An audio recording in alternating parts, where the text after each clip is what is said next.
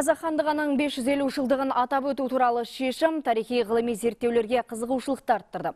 Қазір бұл мәселеге қатысты тек Қазақстанда ғана емес, шет мемлекеттерде де қоғамдық талқылаулар жүріп жатыр. Бұған дәлел Анкарада өткен Қазақстан және Қазақ хандығының 550 жылдығы атты ғылыми практикалық конференция. Жиында көтерілген сүбелі мәселелер туралы Түркиядағы меншікті тілшіміз Бақшан Омар айтады.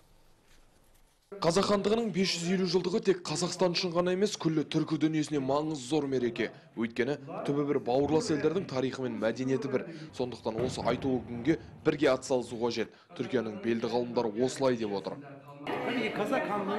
Қазақ хандығының 550 жылдығын атап өту тек өткенге құрмет көрсету ғана емес.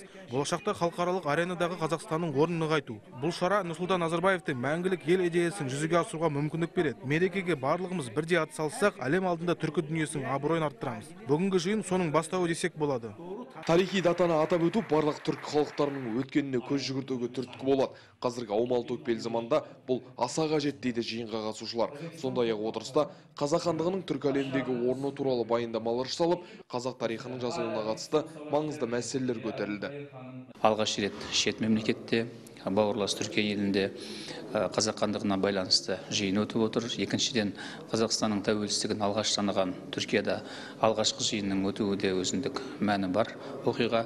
Сонымен қатар бүгін тек қана тарихшылар емес тілші әдебиетші жалпы түрколог ғалымдар жиналып отырып түркияның белгілі ғалымдарының қатысуымен қазақ хандығына қазақ халқына қазақ тіл әдебиетіне байланысты біршама соны пікірлер айтылды. Сондықтан бұл жиынның халықаралық маңызы зор деп есептеймін Жиында талқыланған өзекті мәселелердің бірі ортақ тарих пен мәдениетті бірігіп зерттеу.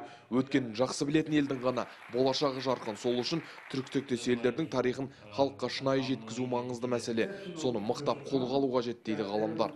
Бақытжан Омар, Нұрал Еген, Анкарадан.